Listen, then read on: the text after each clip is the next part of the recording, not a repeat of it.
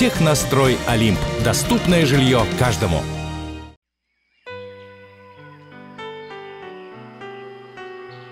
По традиции в начале недели рассказываем, какую погоду ждать в ближайшие дни. Подробности знает профессор ТВГУ Наталья Сердитова. Добрый вечер, Наталья Евгеньевна. Здравствуйте, Елена. Здравствуйте, уважаемые клинчане. Ну что же, в ближайшие дни, в среду и в четверг, погода нас порадует солнцем. Завтра мало облачно, поэтому солнца будет достаточно много.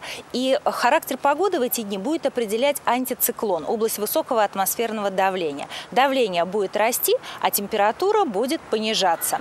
А если сегодня в дневные часы еще плюс 6 градусов, то в среду и в четверг дневные часы плюс 3 градуса, в ночные, соответственно, минус 3, минус 4.